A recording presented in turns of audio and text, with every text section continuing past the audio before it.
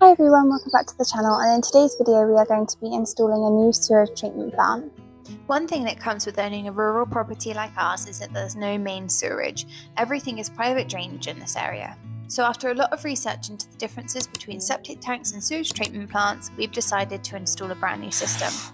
The septic tank we currently have is non compliant due to leaks in some of the pipes, and rather than repairing an old system that's been there for at least 20 years, we've decided to replace it entirely. Plus, it's right in the middle of the lawn, so this gives us a chance to relocate it to a better spot at the far right hand corner of the property. In this video, we're going to take you through every step of the installation process. We'll also break down all the critical parts of the installation, including measurements, specifications, and compliance tips to help you get it all right. So let's get into it and show you what the guys are up to. The first step was excavating the hole for our sewage treatment plant. We went for a Marsh Industries Enco 8, which measures just over 1.9 metres tall, 2.6 metres long, and 1.6 metre wide. To accommodate the tank and ensure stability, we needed to excavate an area that was at least 450mm wider on all sides. Since the land at the back of the plot near the fence sits higher than where the waste pipe exits the house, we had to dig the hole for the tank even deeper to create sufficient gradient and proper flow. This ensures the waste drains efficiently from the house to the treatment plant.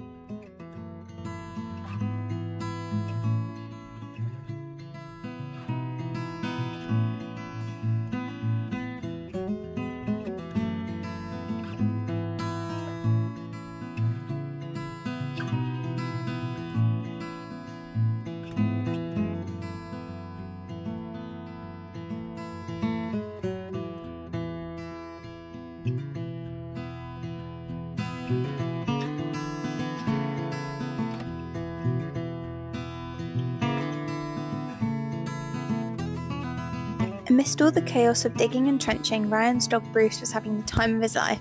With all the roots and freshly dug earth, it was basically paradise for him.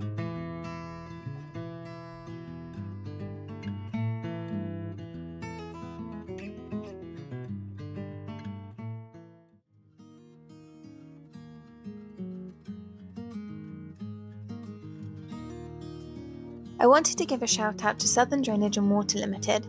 It's my cousin's company, and while this isn't a sponsored video, I wanted to share our experience since they handled the installation for us. They were professional and efficient, which is exactly what you need when tackling something as involved as a sewage treatment plant installation, and they cover a wide range of drainage and water solutions.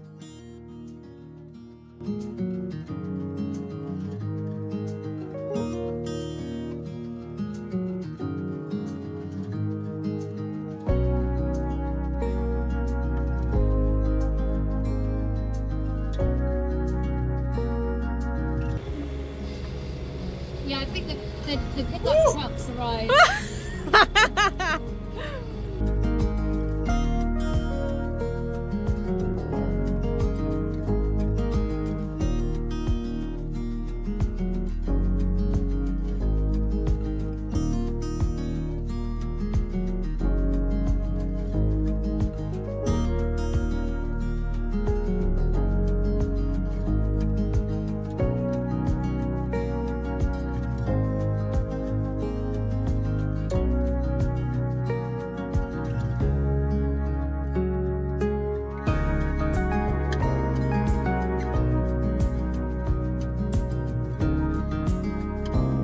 One of the best decisions that we made during this project was opting for a grabber lorry to clear away the waste. A big advantage is cost efficiency. A grabber lorry can carry much more waste than a standard skip, making it far more affordable per load.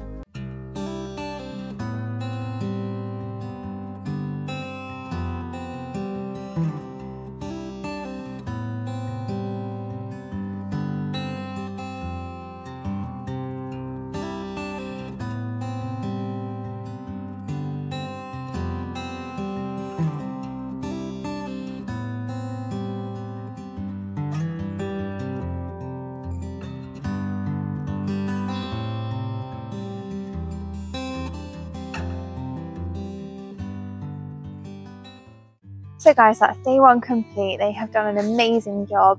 Can you believe that Jade doesn't have a driver's license, didn't know how to operate a dumper truck, and by the end of today, she was working it like a complete professional. She did absolutely amazing, so well done, Jade. Behind me is a huge hole, something that Josh and I thought that we were going to be able to do ourselves. There was absolutely no way that we would have been able to do that. So I'm so thankful that Ryan was here and he has done it all. A couple of moments that Jade and I were a bit worried for Ryan's safety, but he's the professional, he knows what he's doing. Tomorrow the tank should arrive and it will hopefully be situated in said hole behind me. And then we have started filling the septic tank that was there before. Next, we excavated the trenches for the pipes that would carry the waste from the bathroom, utility room, and kitchen to the sewage treatment plant. We were also thinking ahead, planning out where future bathrooms could be added and ensuring that the trench system would be able to accommodate them. Installing extra junction points now saves us hassle and money later. Once the hole was ready, we used the digger to carefully move the tank from the front of the property and place it into the hole. Despite the size, these units are surprisingly lightweight but need to be handled carefully to avoid damage. Always lift the tank, never drag it, and double check that it's placed level before moving on to the next step.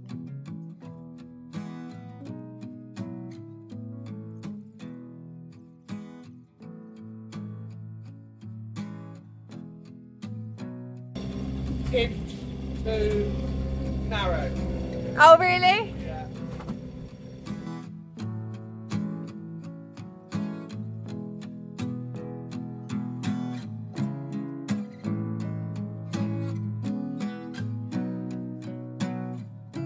Say that the team from Southern Drainage and Water Limited have done an absolutely amazing job. Even though I did get a slight discount for family, I am still a paying customer and their standard rates were significantly cheaper than the other local companies I contacted by as much as a few thousand. I honestly couldn't be happier with their service. They were very knowledgeable, efficient, and patient with all of my questions, making the entire process feel so much more manageable.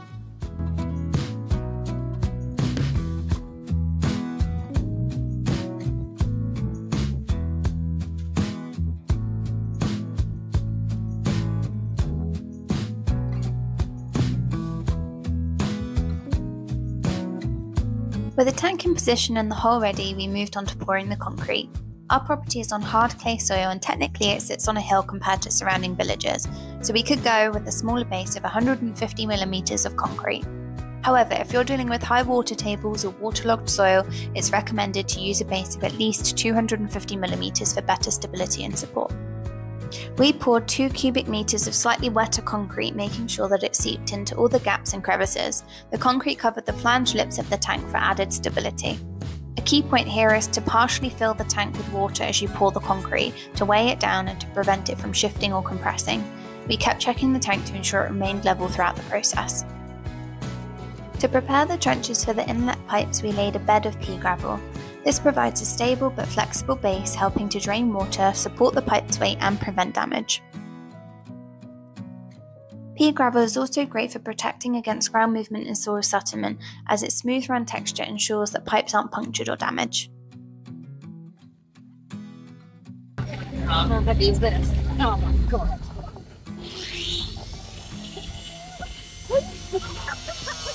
I can get it. Hold on. Here.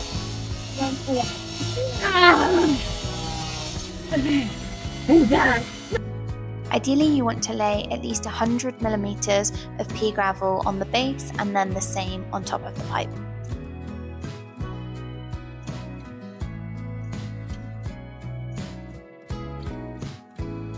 We used 110mm UPVC underground drainage pipes, maintaining a minimum fall of 1 to 40 or 25mm per metre for a gravity fed system. For those of you that might be confused by that, like I was, what that essentially means is every 1 metre of space, your starting point and level would then be 25mm lower than the original point.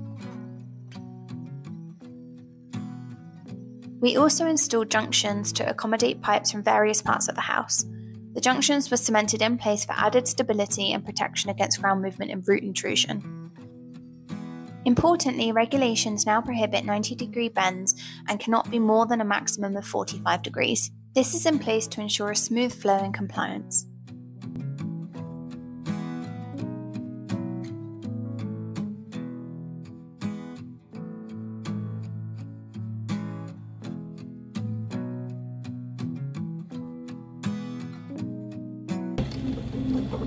Bruce, come here.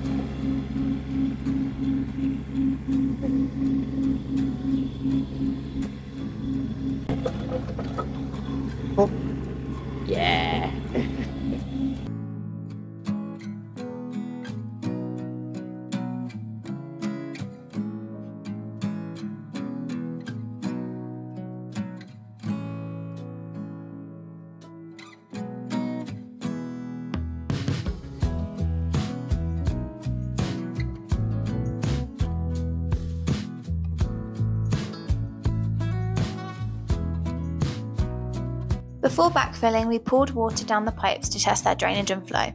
Testing before backfilling is essential to catch any potential issues early and avoid having to dig everything up again.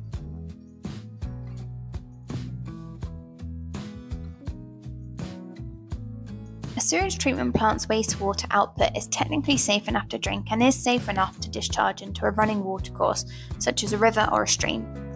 Since we don't have any nearby watercourses, we opted for a drainage field to disperse the treated wastewater safely into the ground.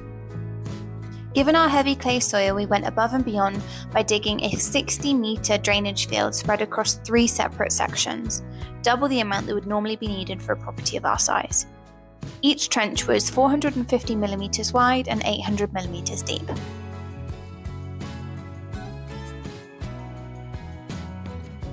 The drainage field, we laid a 250mm bed of gravel and aggregate, with the stone sizes being individually around 3 to 4 centimetres in circumference at the bottom of the trench. If you're in the south of the UK and considering drainage work, sewage treatment plant installations, or any other water solutions, definitely reach out to Southern Drainage and Water Limited. They do travel for work, so it's worth checking if they can help you out. Their details are linked below in the description box, and if you get in touch, please mention that you found them through this channel.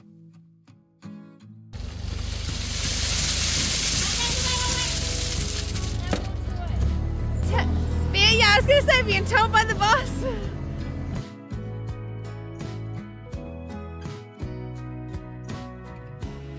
On top of that, we then used 110mm UPVC perforated pipes to allow the water to disperse effectively. Next, we covered the pipes with a membrane fabric to prevent any soil and debris from clogging up the perforations. Then we added 150mm of gravel on top of that before backfilling the trench. This ensures that there's proper drainage here, which is key to avoid any future issues.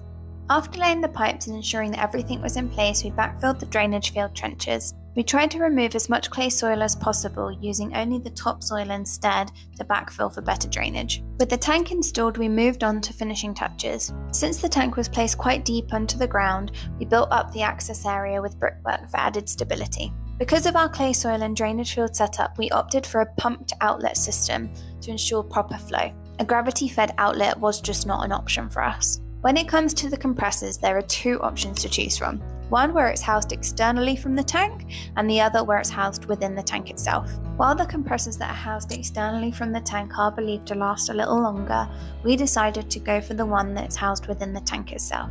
The reason for this is because it's believed that the noise pollution is lower. This is a big plus for us, especially considering our peaceful location. At this point, the electrics aren't fully connected yet, but once that's done, we'll be able to properly test everything. For now, though, the hardest and dirtiest part of the job is officially done.